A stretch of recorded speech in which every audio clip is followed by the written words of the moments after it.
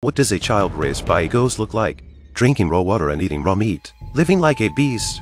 The story began five years ago. At that time, these two children are still young. The older sister is three years old, and the younger one is one year old. They are living in a happy family, but the collapse of the capital market causes the family to go bankrupt overnight. Their father can't bear the shock. He is insane and kills his wife. Then he runs away with his two children, but the car skids and they fall off a cliff. But in the end, they are safe. They walk through the snow and ice and find a small cabin. Their father doesn't change his mind. He wants to kill his two children here. He will commit suicide later. He painfully takes off his old daughter's glasses, tricking her into looking out the window, just as the father is raising the gun. Suddenly,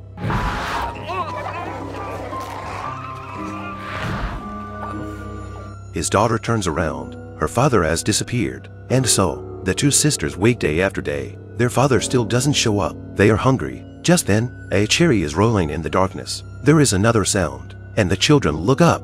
They catch sight of an evil spirit. From then on, the two sisters say goodbye to human society. Their ghost mother takes care of them and finds them food. She plays games with them and teaches them how to hunt. Five years has passed. The two children's uncle continues to search for them. Finally, one day, someone finds the cabin. From the childish drawings on the wall and a pile of air-dry cherry pits, they figure that someone is living here. And sure enough,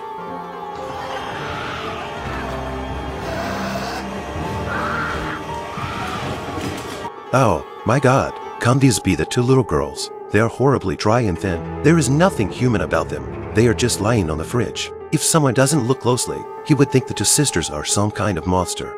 The two children are rescued. After several months of intensive treatment, they still haven't completely gotten rid of their animal habits. The doctor concludes that they are delusional. Excessive lack of love leads to the fantasy of a mother. It's sad to think that they've been isolated from the world for so long. Uncle brings the children home. They eat and crawl with their hands. They sleep under the bed. They are also very afraid of human contact. Uncle, who tries to get close to them, is attacked. Uncle takes out a pair of glasses and puts them on the bed. The elder sister carefully reaches out her hand, picks up the glasses, and puts them on. She seems to have some sense. She slowly recognizes her uncle. She goes to touch his face, as if she knows him before. She hugs her uncle tightly. At this moment, the elder sister finally remembers her origin. Her uncle is overjoyed. He calls the psychiatrist at the institute. During the treatment, the elder sister reveals a shocking thing. Their ghost mother is not a fake. She really is taking care of the two sisters for five years. Where does the ghost mother come from? The story happened a hundred years ago. The children are raised by a ghost. They are as thin as bones and will bite everyone they meet. Isolated from the world, they lose their consciousness. They are turned into monsters with no human face. Fortunately, their uncle finds them and takes good care of them for a while. Only then does the elder sister return to normal. But the younger one has not made any progress. She's too young when she disappears. She has no self-awareness at all. She can't adapt to human society, always hides behind her sister, and never eats at the table. Instead, she sits in the corner and eats cherries. At night, the ghost always appears. What the uncle and his girlfriend don't know is that since the two children move in, the danger comes along with them. The ghost mother does not give up. She stays with the family of the two sisters' uncle.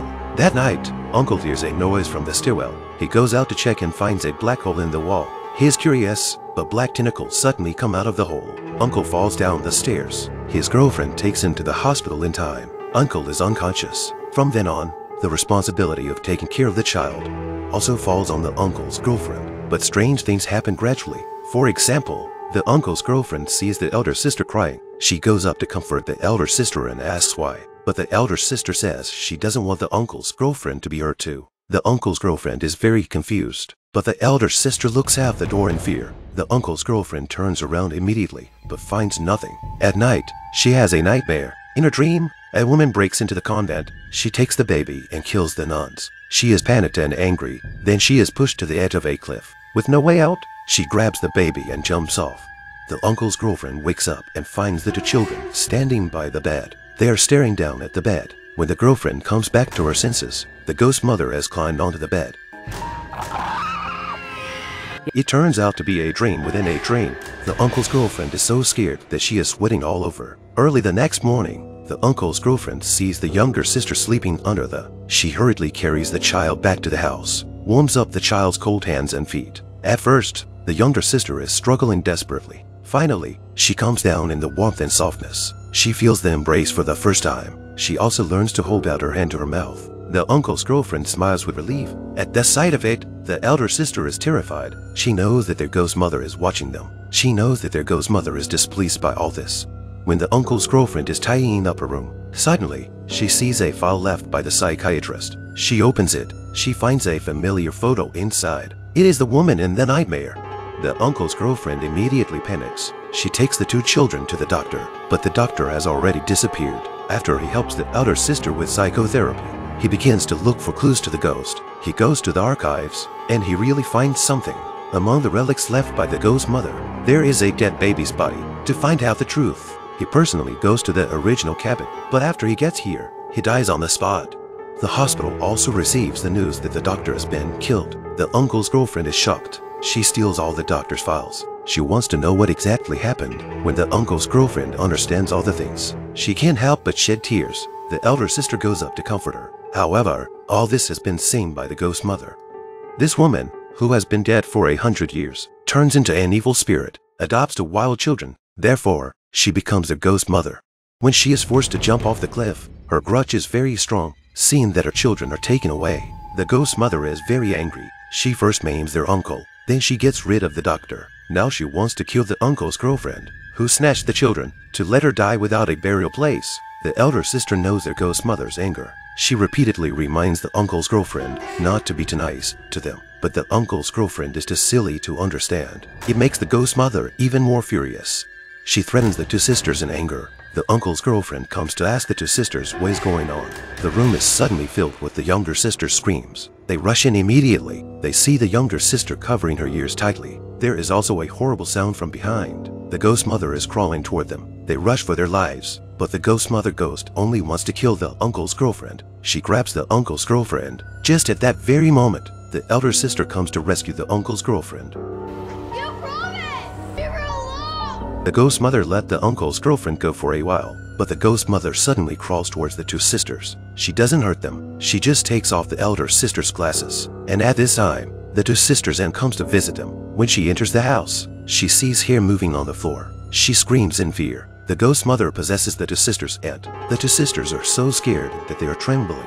The uncle's girlfriend, who is in a coma, has another dream. This time, she finally learns about the ghost mother's obsession. When she jumps off the cliff, the ghost mother drowns in the river, but the baby is hanging on the tree halfway. She becomes an evil ghost because of her deep resentment. She mistakes the two sisters for her own children. When the uncle's girlfriend wakes up, the children are gone. She takes the box with the dead baby in it, preparing to go to the cabin. Uncle, who is recovering in the hospital, suddenly meets his brother in his dream. His brother asks him to go to the cabin to save his children. Uncle meets his girlfriend on the road. They arrive at the edge of the cliff in no time. The ghost mother is really here. She opens her arms to lure the two children to the cliff. In the nick of time, Uncle saves the younger sister at the risk of his life. The ghost mother is furious. When she is about to kill the uncle, the uncle's girlfriend takes out the dead body in a package. The ghost mother flies over and snatches the child. Looking at the remains in her arms, she cries out loud. After so many years of separation, at this moment, she was finally reunited with her children.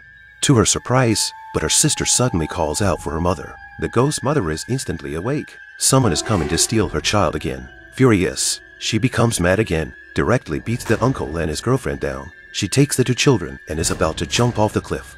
The elder sister knows she can't escape, so she decides to leave, but the uncle's girlfriend climbs over again and again, clinging to the elder sister's hand. Finally, the elder sister let go of the ghost mother. She is grateful to her mother for raising her, but she also loves everything in this world. Seeing that the elder sister decides to stay, the ghost mother has to agree, but the younger sister is too young. The ghost mother can let her go. At the end of the film, the ghost mother takes the younger sister up into the air. Just like many years ago, she held her own child, jumping from the cliff together. But this time, mother and daughter are together.